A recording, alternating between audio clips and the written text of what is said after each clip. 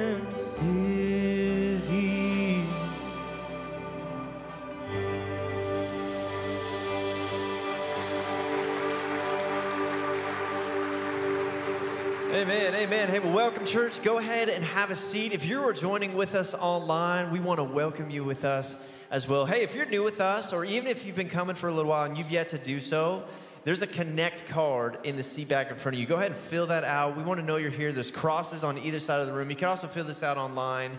And we want to know that you're here worshiping with us this morning, but also on that same card, there's a place to request prayer. We are a praying church. We believe that there's power in prayer. We have a prayer team that meets in real time every single week and prays for us. They're praying for us right now, this, this service right now, over it. And we pray throughout the week, and we just believe that God moves and works on behalf of when his people come together and pray. And we want to be praying for you in this season. So fill that card out, write a prayer request, drop it in by the tables, by the crosses. You can fill it out online as well, and we'll get those. And we will be praying for you through this week. And then also, church, we have an opportunity to give today and to give towards just all the incredible ministries and what God is doing here at RCC, the incredible outreach it's just such an amazing place to be, and that all comes through the provision of our Lord and Savior Jesus Christ, but also through your generosity. And so, if you've come prepared to give of an offering today, you can see on the screen there's several ways to do that. You can also give online, and uh, it's just amazing to give towards what God is doing. So, ways you can get plugged in there. Hey, we are going to continue in worship. We're going to turn into a time of communion.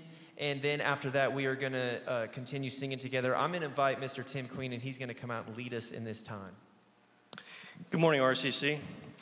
If you didn't get a um, the elements, uh, the juice and the bread, as you walked in, just go ahead and raise your hand. There are people around here that will go ahead and bring them to you. So this morning, as we uh, enter this time of communion, we want to just reflect a few moments about uh, the church and RCC and maybe some of our origins here.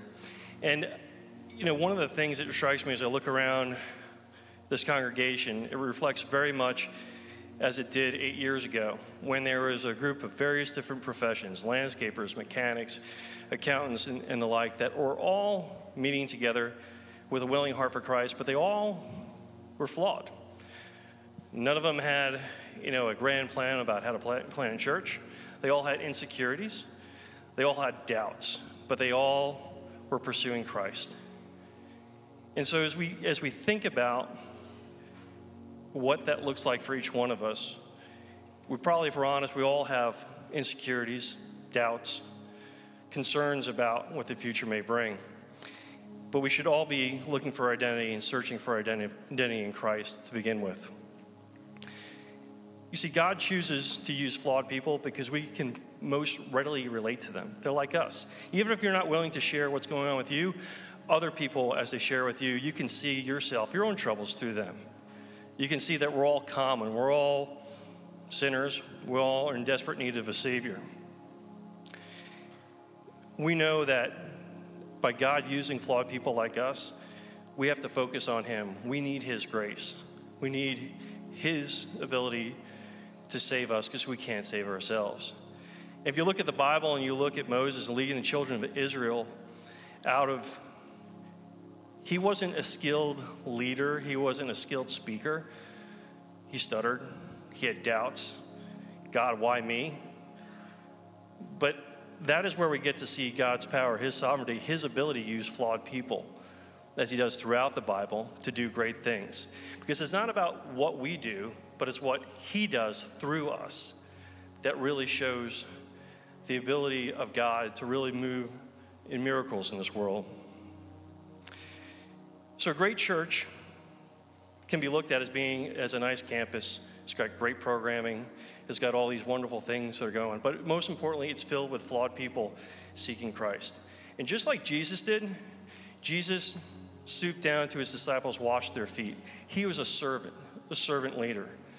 And for all of us pursuing Christ, that's what we're called to be, regardless of our doubts, our insecurities, and our flawedness. So, since we began this journey a number of years ago at RCC, that's been the heart of who we are to be servants in the community, to be able to find our path like Christ did, and to serve others first and foremost. So, if you feel flawed, unworthy, you don't know where your spot is, you're in good company. None of us know what we're doing. We're just trying to point to God be prayerful, and reflect what He wants to have happen here on this earth. So, this morning, as you take your elements, reflect upon this. Think about where you're called to, and recognize too that you are no less special than everyone else in this room or anyone that is pursuing Christ. Would you pray with me? Lord, this morning as we reflect upon your time on this earth and the sacrifice you gave, we remember, Lord, that you surround yourself with people like a zealot, a thief, fisherman, a tax collector. People in their own right were not worthy of the great commandment and taking this word out to the world in the four corners of the earth. But Lord, you used them and you showed your, your absolute power through them. So today, as we take these elements, remember the blood was sacrificed, your body that was broken. We remember the words we find in 2 Corinthians where it is, and it is in our weakness that through him we are made strong. Amen.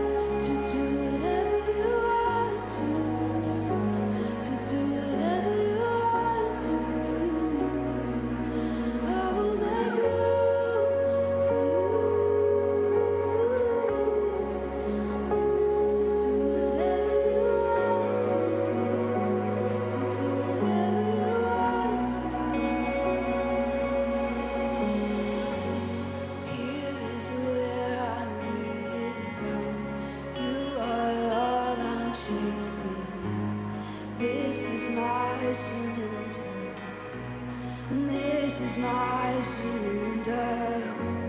Here is where I lay down. You are all I'm chasing. This is my surrender. This is my surrender. Amen. Amen, church. Amen. Hey, stay standing, stay standing, because guess what? It's our birthday today, everybody. It's RCC's birthday. We turn eight today. How about it? Eight years old? So go ahead and hit it, Ty. Happy birthday to you. Happy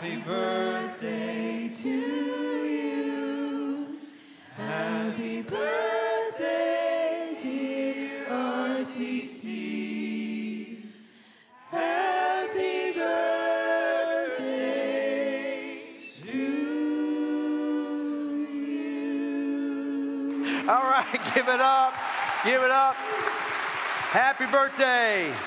Hey, say happy birthday to each other right now. Happy birthday to you. It's your birthday too.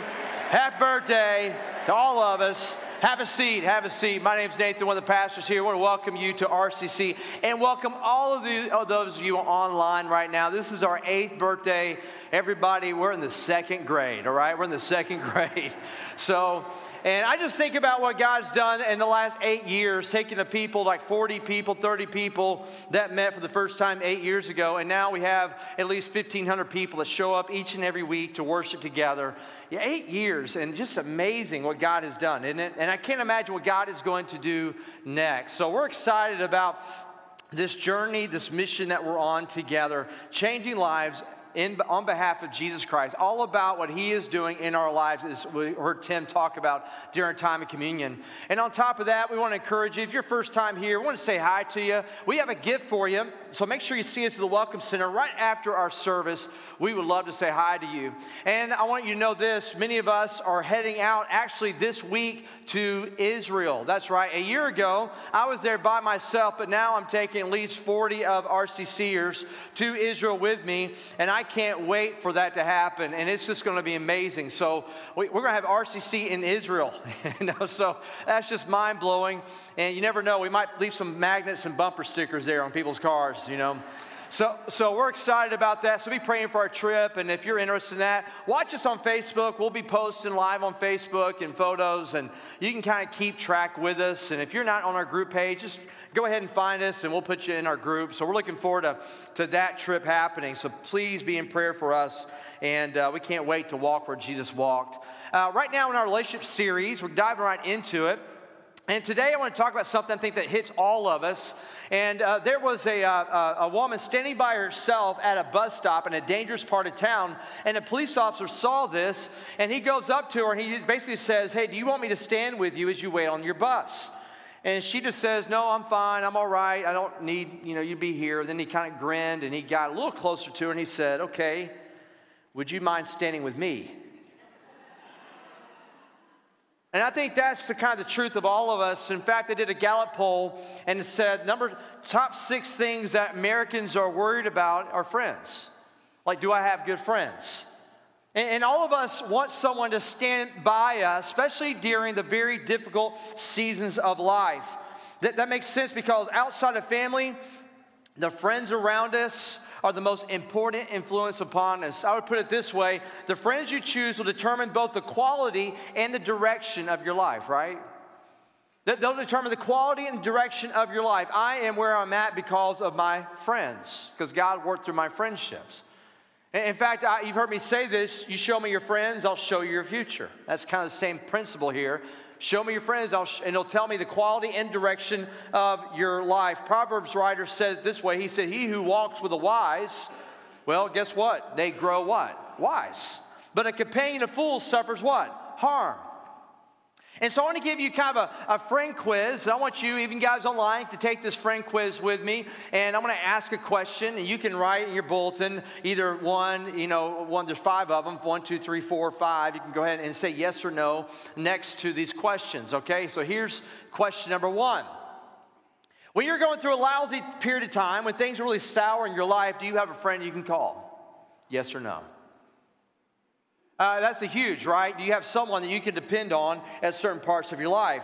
Do you have a friend, number two, who you let talk through a problem with? You know, they'll let you talk it out without giving you advice. They'll just kind of be a sounding board for you. Do you have someone you can just talk, just talk without them just giving you an answer? One person put it this way Do you have a friend that knows you don't know what you're talking about, but they let you come to that conclusion on your own? you have a friend like that? Yes or no?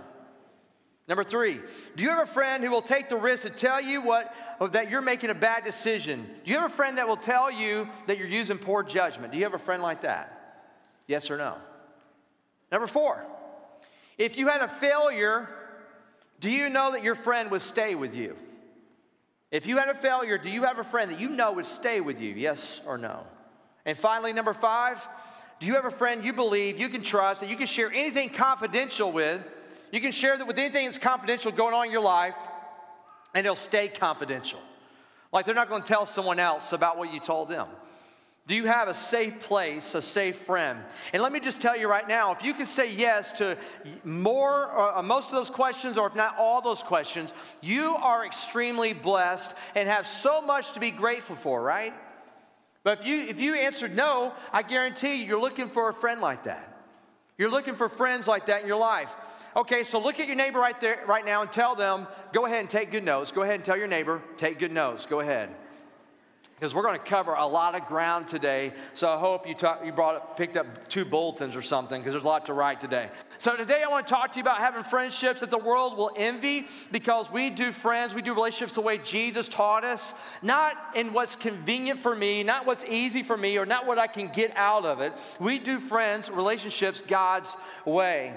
C.S. Lewis, amazing author, said, Is any pleasure on earth as great as a circle of Christian what? Friends by a fire. Is there anything better in life than that? And many of you know what that image looks like. The thesis, though, of today is this that most, most friendships fail. Most friendships fail. Most friendships fail because of lack of commitment to those friendships. In other words, we don't put enough time and energy or effort or level of commitment for, for what those relationships should be. In fact, we can point to almost any success or any low time in life and see that a relationship was going on. Like when things were going really well, highlight of our life, there was probably a great relationship happening at that time. Like there was a sweet spot with the relationship. And then we look at low points of life. I guarantee you, a lot of times it circles around a relationship, doesn't it? Because the low point of your life. So here's the thing, and it's so true. Our goal is really simple. We want to raise a commitment level. I would say this here's the goal our goal is to raise a friendship commitment level from convenience to covenant. Most of us look at relationships as more convenience, but we want to go from we want to go to a commitment that's real. We want to do, go to a commitment that is deep. Friendships are important to all of us. I don't care if you're a child in the room. I don't care if you're in high school or in college. I, I don't care if, if you're a young family or maybe you're chronically challenged, like many of us in the room. It doesn't matter what season of life. I was talking uh, on the phone with somebody recently, and they asked me, you know, what's your favorite, what's your favorite band? I just went ahead and said, oh, Def Leppard. I just kind of brought it up, and they're like, ooh, classic. That's classic. And I was like, that sounds old. Is what you make that sound like. It sounds so makes me sound so old. So, so it doesn't matter what season of life you're, you're in, we all need to listen to this. And so when I launched into ministry a number of years ago, I, I realized something, um, and, and, as I started with this full time ministry for the first time, that was uh, people, I don't know if you know this, but people are high maintenance. I don't know if you know that. This church I was working with, it was kind of good news, bad news. Good news is that they were all going to heaven. That's awesome. The bad news is that they weren't going soon enough. You know what I'm saying? Like it just. move this along a little bit, right? Because they were high maintenance people. And, and, so, as I'm talking about friendship, some of you are thinking right now, I don't want to really be friends with most people because they're crazy. And so, so, so here's what I want to do right now. I want to kind of give you categories, and if you know someone in each one of these categories, I want you to raise your hands, kind of audience participation. I'm like that. I get bored easy, so let's kind of go back and forth a little bit. I, if I say something, you know someone, you know, it fits in this this category. Raise your hand. All right. Number one is this: the critic. You know, the critic constantly complains, gives unwanted advice. Anybody knows a critic? It's like they get paid to be critical. You know what I'm saying? You know anybody like that? All right, how about this one? Uh, how about the martyr? Forever the victim, racked with self pity. Anybody know a martyr? You have no idea the trouble I'm going through. You have no idea. You can't relate, right? Like, like they're the only ones. How about this? The wet blanket. Pessimistic and automatically negative. Anybody know anybody the wet blanket? All right, they're, just, they're in heaven, the streets of gold. They, they see the dust on the streets of gold, like they're just picking it off. Like, can't believe this place. I'll be nicer than this. How about the steamroller, blindly insensitive to others, like a bull in a china shop, right? They kind of run you over. Anybody know anybody like that, right? They run you over. They say something, blast you out of the water. You're reeling from it. You go back and talk to them, like, oh, you're still hung up on that? That was like 10 minutes ago. Like, I've moved on. All right, that's the steamroller, all right? How about the gossip, spreads rumors and leaks secrets? Anybody know a gossip in their life? Anybody? You know, I don't need to describe this one. How about the control freak, unla- unable to let go and let be? Anybody know anybody like that? All right. How about the backstabber, irrepressibly two-faced? Anybody know anyone that's a backstabber? Okay. How about the cold shoulder? Disengages and avoids contact. They're really hard to connect with, all right? Kind of always blowing you off, okay? How about this? A green-eyed monster seized with envy. Anybody know anybody that's really envious? Always comparing themselves to others? I know you know this one. The volcano, build steam and ready to erupt. You don't know what to say, what to do. You don't want to set them off. Anybody know a volcano? How about the sponge? Anybody know a sponge? Constantly in need and gives nothing back. Very, very needy. Oh, yeah, don't point, don't point. They're sitting over there.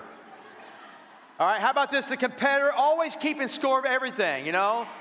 I caught a fish this, oh, really? My fish was this big. You know, they're always one upping you. You know? So, so I, I know it's probably going on as I go through this list of high maintenance people, faces are coming to your mind, aren't they? Faces are coming to your mind. Now, how many of you basically know someone in each one of those categories? Raise your hand if you know someone, probably in each one of those categories, okay? Now, uh, let, let me just see this. Aren't you delighted, though? Aren't you delighted that you're not like that? I mean, this message is for the people in the other services, not for the second service and third service, right? Aren't you glad that no one would ever think of you? How are you doing? I mean, if you don't think you fall in one of those categories, you don't need this sermon. You need therapy, is what you need. I'm like two or three of those, okay? I'm just gonna be honest with you. People are going, that's Nathan. Oh, there's Nathan again. I mean, one of the one of my favorite relationship stories out there is about a guy in a hot air balloon. He's in, he's in Arizona. Many people watch on Arizona every day. He's in Arizona. We have hot air balloons in Arizona oftentimes. And, and all of a sudden, he's out there and he's lost and he's got to figure out where he's at because he needs to make an appointment. And so he starts lowering his altitude in the hot air balloon and he sees a hiker on the side of a kind of a mountain. And he, and he starts talking to her and he says, Hey, uh, excuse me, can you help me? I promised I would meet a friend in, in an hour and I don't know where I'm at. And the hiker looks up and says, Well, um, you are in a hot air balloon hovering approximately like 30 feet above the ground, and you're between 40 to 41 degrees north latitude and between 59 to 60 degrees west longitude. and the guy in the hot air balloon says, um, You must be an engineer. And the hiker says, uh, Well, yes, yes, I am. How did you know? And the, the guy in the balloon says, Well, because everything you told me is technically correct, but I have no idea what to do with your information. And the fact is, I'm still lost. Frankly, you're, you're not much help to me after all so far. So, if anything, you've actually delayed my trip. And the person hiking looks at the balloonist and says, You must be in management. And the man in the hot air looks down and says, uh, well, Why, yes, I am. How'd you know? And she says, Well, you don't know where you are, you don't know where you're going. You have risen to where you are due to a large quantity of hot air. That's good right there. Anyway, you made a promise which you have no idea how to keep, and you expect me to solve your problem. The fact is, you are in exactly the same position you were before we met, but now somehow it's my fault.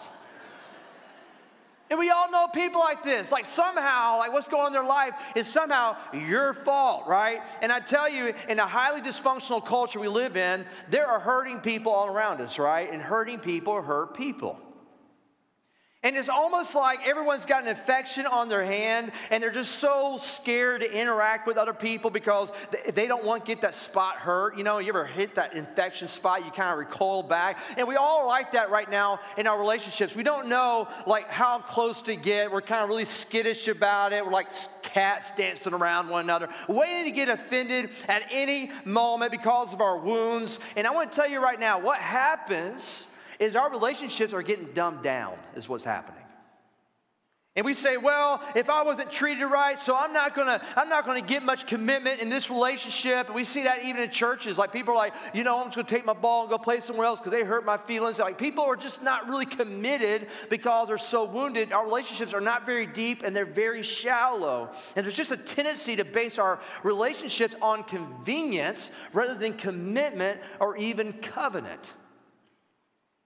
And in your notes, I have three levels of friendships I want to talk about with you as we start. Number one is this surface friendships. And that's exactly what this sounds. I mean, that's what they are surface friendships. You see them around town, you kind of look at them and go, hey, how you doing, man? Let's get together sometime.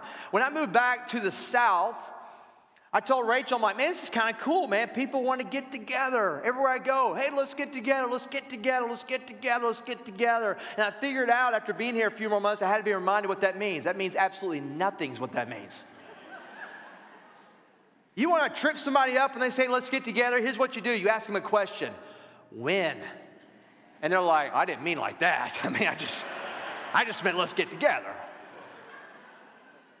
Shallow, surface relationships. That's how many of us have in our friendships, right? Number two, structured friendships. These are relationships that we encounter continually, maybe at work, maybe a kid's ball game. There's a reason, there's a function that brings us together. Like, there's not really. Um, there's not really much substance to the friendship. It's mainly about that function, if that makes sense, right? So there's like structured friendships. And then lastly, this is what we're going after solid, secure friendships. This is a commitment relationship based on and built on unconditional love. It's, it's built on a biblical standard of commitment, it's built on the standard of Jesus Christ. It's not about convenience. It's not, well, we'll see if this works and we'll be friends as long as I'm, you know, it's easy for me. It's not like that. Never forget a professor in college, he said, You'll be blessed if you go through life with three close friends. I was like, That's cynical.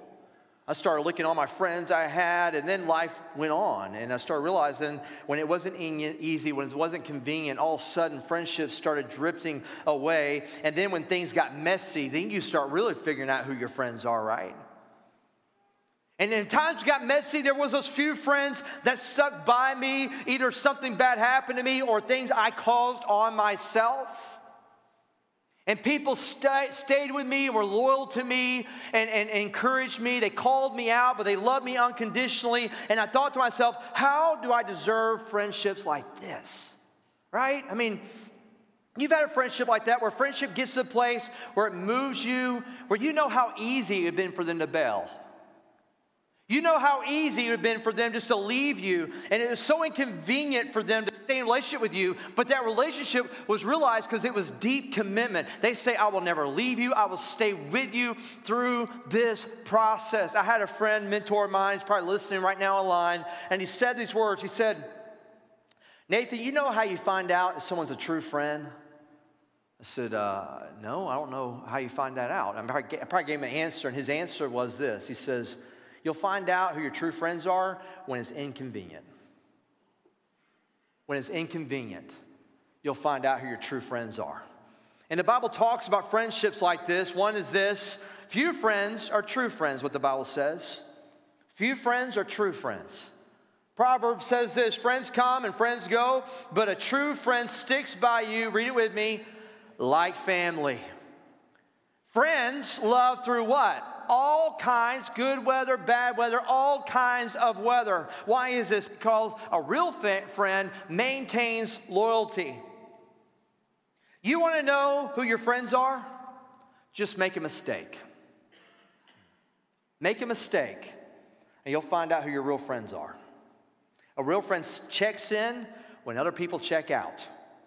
A loyal friend maintains a consistent defense before others on behalf of you. They take up for you when others take away from you. Whether you are with them or not, they will stand up for you. A loyal friend has a genuine spirit of rejoicing with your accomplishments. The Bible says we rejoice with those rejoice, mourn with those who mourn. Let me be honest with you. I think it's easier to grieve with people who are grieving than rejoice with those who are rejoicing because then we start going, Well, I didn't have that happen to me.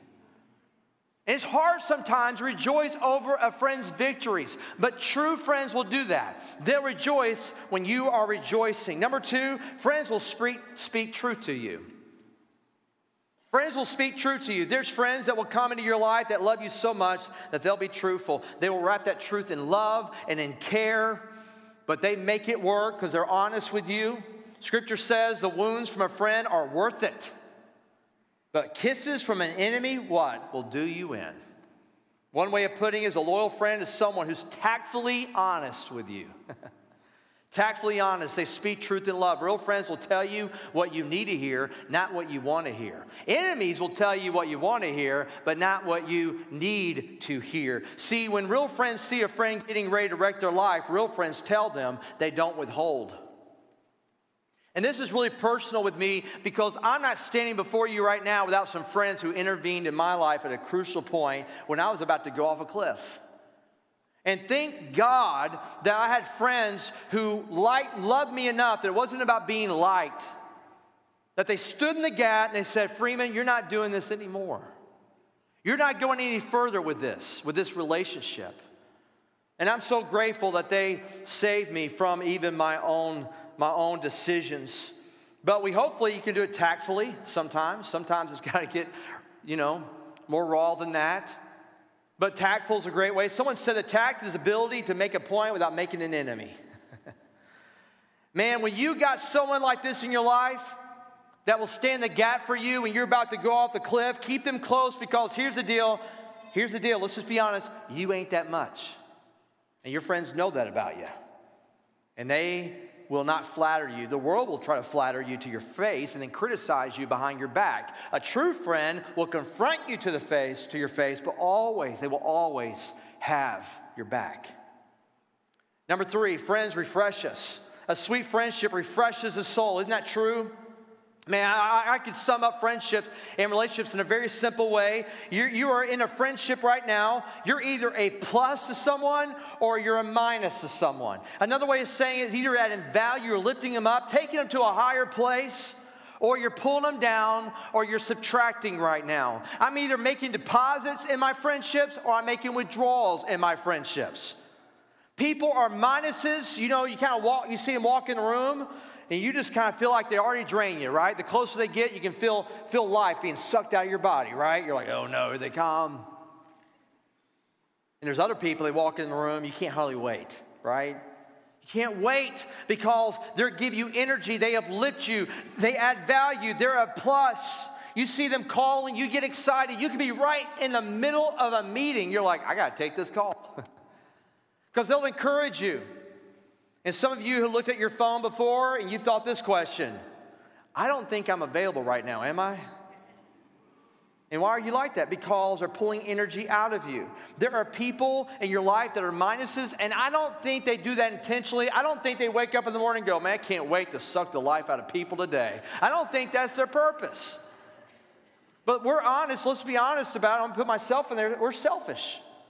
We're selfish, and a person is so focused on themselves, and what they do is slowly chipping away at a relationship, and they're sucking the life out of even the people around them, like their friends. I know this. If you're going to make a commitment to a friendship, you're going to, to be intentional about being a plus and pouring into them. Because it's so natural to be selfish and all about me and what can I get instead of what can I do for you? How can I lift you up? What's better for you? Let's go that route. And the fourth thing the Bible talks about is this friends sharpen one another. That means we make each other better. Proverbs says this you use steel to sharpen steel, right? And one friend, guess what? Sharpens another. Now, as we look at these four things that the Bible says, I got a question for you. We look at committed friendships, stick together, They speak truth in love. They refresh each other. They sharpen one another. How many of you would like someone in your life like that, that walk in your life that refreshes you, sharpens you, makes you better, unconditionally loves you, has got your back? How many of you want a friend like that? Raise your hand if you want a friend like that. Raise your hand. By the way, this is not a relational question. This is an IQ question. If your hand's not in the air, you've got problems. We all want a friend like that, but here's the truth. Listen, we attract who we are. We attract who we are, not what we want. The people we attract are the kind of people that we are. I know people in my life are so insecure, and it's amazing. You can put them in a room with people they don't know, a hundred people they don't know, and they will find the next most insecure person in the room within an hour. You magnetize people who are like you. I talk to pastors all the time. I was in Destin, Florida last week, and, and the question was, What kind of people do you want on your staff? And us pastors make all kinds of lists. I want a people who's sold, I want a person on my staff who's sold out for Jesus. I want someone who's got a great work ethic, good team player, integrity, right? Good attitude. And pastors come up with all these wonderful lists, but the question you have to ask is Is that you? Is that you? Because if it's you, you will attract people like that. Because we attract who we are, not what we want. Same thing if you're looking to marry.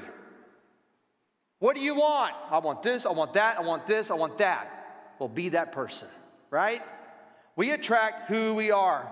So, what does a real friend look like? Number one, be the right person. We need to be the right person. It doesn't matter by fixing someone else or getting them to raise their commitment level. We need to be like Jesus. We need to be committed to them first. Who we are deter- determines how we see people. If we have to be the right people around us, that means that I'll be committed to you no matter what. But it doesn't start with my friend, it starts right here with me. I need to commit unconditionally to them. I need to be unselfish friend who's not using you, but actually looking out for your best interest ahead of my own. Philippians chapter 2. Also, that means that I don't become possessive. And some of us need to hear this. Some friends feel like they have to have full knowledge of our whereabouts and what we're doing and who we're hanging out with and why they weren't invited.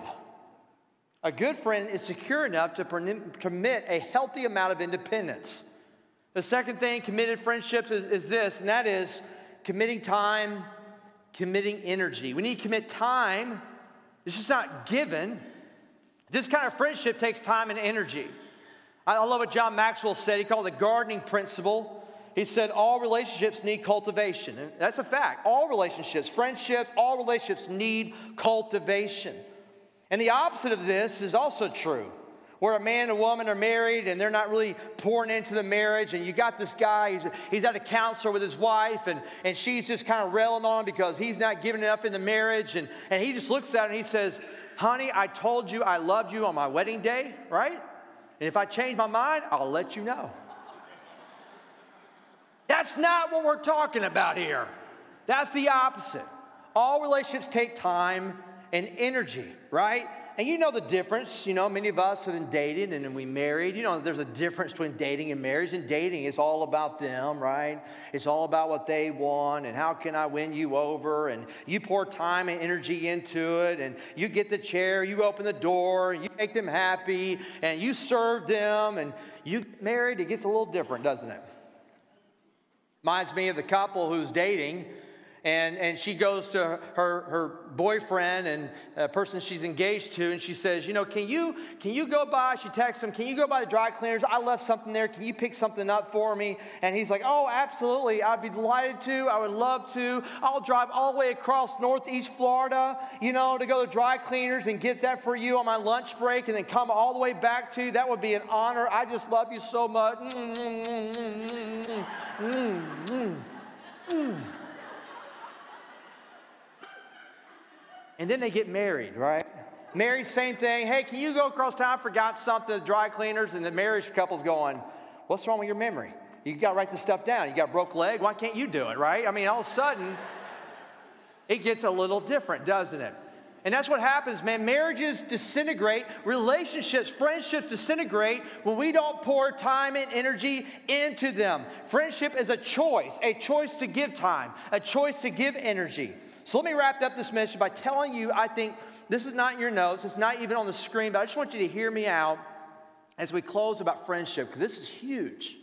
And I think God wants you to hear this two desires from God about friendships. A big part of time and energy is real friendship is going to take this. It's going to take, wait for it, forgiveness. It's going to take forgiveness. If you're going to have a friendship that's going to last a significant amount of time, you're going to have to learn to forgive. Because guess what? Newsflash, they're not perfect. And bigger newsflash, neither are you. Neither are you. This is good right here. Proverbs 17 9 says, Whoever should foster love covers over an offense. They cover it over an offense, but whoever repeats the matter, guess what happens? Separates. Separates what? Close friends. Some of you in this room have a former, former close friend. And the thing that has kept you apart is you both, or you or them, has refused to forgive. And there's a wedge right now going on. Can I just tell you that life is too short to hold grudges against friends? Too short. You need to make that right. Your anger gets you in trouble. But guess what? Your pride keeps you there. Your pride will keep you separated from your friend. And some of you need to text right now someone while I'm preaching. You're listening this online right now. You need to text someone and say, you know what? Can we talk later today or can we talk tomorrow? You didn't make things right with them. And just say, you know what? I love you too much for this relationship to stay where it's at right now. And I just want you to know is that I forgive you, or maybe you need to ask for forgiveness and just say, you know what, you mean too much to me. I, I, you pour too much into me. I pour too much into you. Just to let this just go and us be separate the rest of our lives. We need to come back together. And I want you to know that my heart is for you and I want to make this right. What can I do to make this right? Let's agree without being so disagreeable. Here's the truth you don't have to see eye to eye to walk hand in hand with a friend. And some of us think we have to. No, you don't have to see eye to eye to walk hand in hand with a friend. In 1471, there was two aspiring German artists that, that entered art school together. And, uh, and, and, and they were back in the 1400s. This is widespread poverty. Two names, two guys, Hans and Albright. They went to art school together, realized it was just too expensive for both of them. So Hans realized that Albright was a better artist. And so what he decided to do was to do manual labor for his friend Albright. So his friend Albright could continue to go to, to school. And so his friend was in school, and Hans was out there working manual labor. And eventually, Albright became successful and became a successful painter. And then he thought, you know, I'll return the favor and I'll pour into Hans so he can go back to school and then he can be an artist. But by the time Hans went into school and started learning how to paint correctly, his hands had become so callous, so rough, had become so swollen from all those years of doing manual labor for his friend Albright. Albright wanted to do something to thank Hans for his sacrifice. And he went to see Hans one day and he found Hans praying for him. He found Hans, his friend, praying for Albright. And he was folded, his hands were folded kind of like this. And when Albright saw Hans, his friend's hands like this, he thought to himself, that's it. that's it. And there's a good chance you've seen what Albright did to honor his friend Hans the famous portrait of the praying hands. These are the hands of Hans that were painted. It's a tribute, listen, to one friend who sacrificed so another friend could flourish. And I'm going to tell you this for friendship to happen, it's going to take forgiveness and it's going to take sacrifice so that our friends can flourish. And I think it's similar to Jesus' hands. Family, what a friend we have in Jesus. Amen. Jesus is truly a friend who will stick closer to you than a brother or a sister. He is loyal. He will never leave you. He will never forsake you. He is unselfish. Jesus said this about friendship. He said, Greater love has no one than this to lay down one's life for one's what? Friends. Jesus is a sacrificial friend, He's a loyal friend, and He is a forgiving friend. Praise God.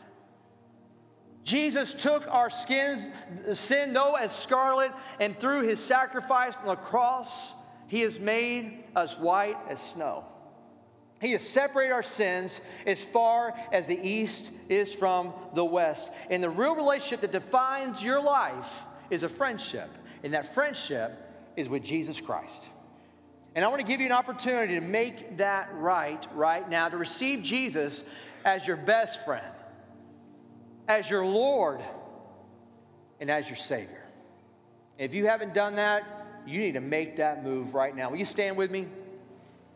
We're going to pray right now together, and I just want to have a moment of prayer. Some of us need to celebrate our friendship. We need to praise God. God has been so good to us, He's given us incredible friends, and we just need to praise Him for that during this time of prayer. And you can come up here, our prayer team is up here. They would love to pray with you and just celebrate that with you. Maybe today you didn't make things right with a friend. And I've had that moment in my life. Well, I've had people pray for me as I get ready to go into conversation because things have gotten so kind of dark and cold and distant with someone. And it was time for me to come out and just come out to light and just say, man, I need to talk to you about what's on my heart and just tell you what's happening in our friendship and why I'm so distant from you. Maybe you need prayer about that. I needed prayer. Our team's up here love to pray with you. Maybe today you need to receive Jesus Christ as your Lord and Savior. You can come up and do that right now. Let me pray over you right now. Father God, we are so grateful for the friend we have in Jesus Christ. And Lord, through Jesus, we see what it looks like. We know what it looks like to be a good friend and to have a good friend. And Lord, help us to not be so focused on how other people treat us, but Lord, may we be people who step up and are the right person, the right friends for other people. Lord, we can't control our friends, but we can control ourselves. And may we be people who are sacrificial and loyal and forgiving towards others. Lord, I pray right now for friendships that are struggling right now. And Lord, may you, may you rain down forgiveness on us and through us so that friendship can be reconciled. Lord, we praise you for friendships that are going well, for people who are with us when good times happen, and when bad times happen, just like Jesus, Lord, we praise you for that. And some of us in this room, we need to make the most important relationship right. The relationship that defines our life right here and for all eternity. And that relationship is a friendship with Jesus. And Lord, many of us, some of us in this room and listening online, need right now to move towards you through Jesus, accepting that grace that He offers us and saying that my best friend is actually my Lord and He is my Savior. Lord, I pray for wherever we're at right now that we'll make a move, either celebration, reconciliation, or finally being redeemed through the blood of Jesus. So, Lord, we can have flourishing relationships and friendships in our life. And may you get all praise and glory for it. We pray this all in the name of your Son, Jesus. The whole church said, Amen. Can we give God the praise right now for being the incredible friend to us? He's the best friend you'll ever have. Let's worship him right now. If we can be blessed and come forward as we worship the King of Kings.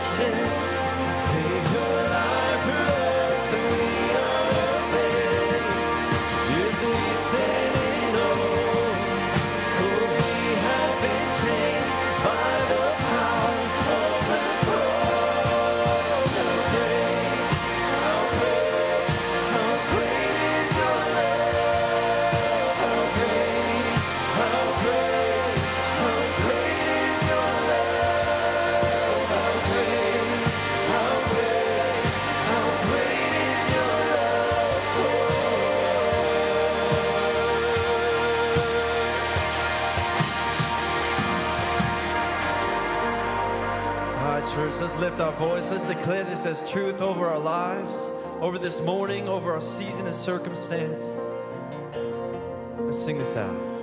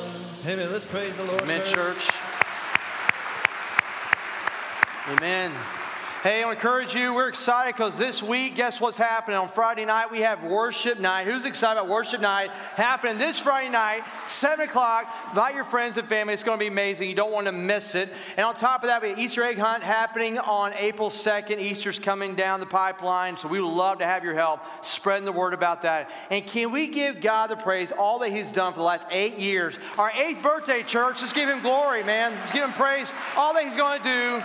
I can't wait to win more people to Jesus with you, all right? So let's go change the world. Love you guys. See you soon. God bless.